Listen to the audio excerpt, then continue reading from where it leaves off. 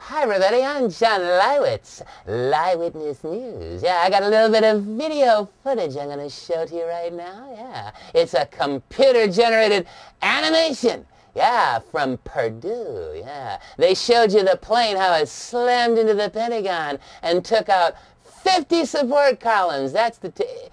No, uh, the wings broke off. Yeah, that's what it was. The wings broke off, and it slammed into the building and disintegrated.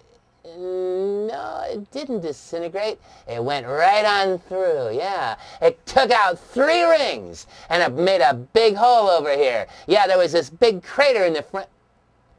Well, there wasn't a, big crater, no. It was, uh, just shut up and turn the channel.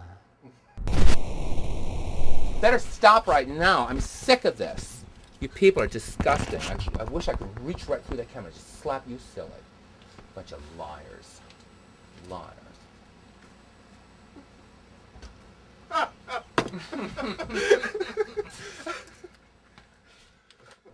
well, in the phrase conspiracy theory, the two words have one of those words. Oh, man, oh. On September 11, 2001, there were four events that were reported to have occurred within an hour and 15 minutes of one another. The first event, of course, occurred in standard time when American Airlines Flight 11 slammed into the North Tower of the... Now, unless this is one gargantuan coincidence, let's... Screw this up. Does common sense not dictate that if you find a party or parties involved in one of these events, they were probably involved in all of the events.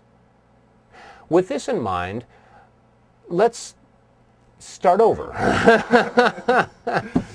now, unless this is one gargantuan... Oh, man! Since there was no responsible claim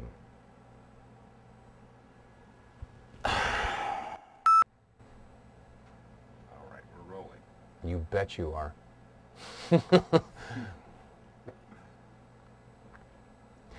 On September 11, 2001, four events occurred within an hour and 15 minutes of one another.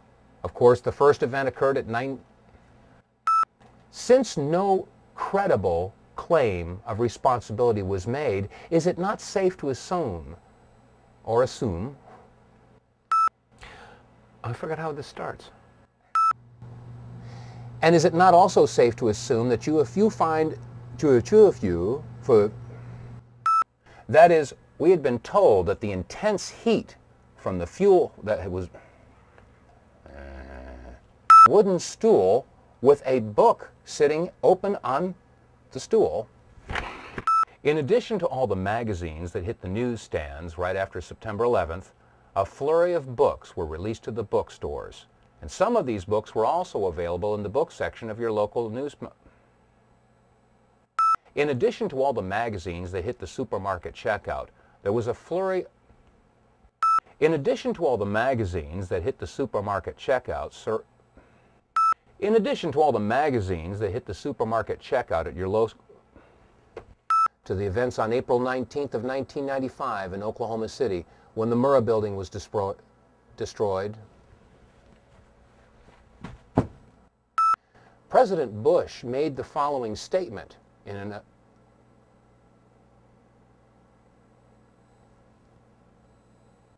This time, what, did I, what was I saying? And turn it into some kind of a political football. They'll call us Bush Bashers or light Blashers. Or, you know, right off the bat, there will probably be some folks out there that will... Ladies and gentlemen, Ladies and gentlemen, oh, I'm sorry, I lost it.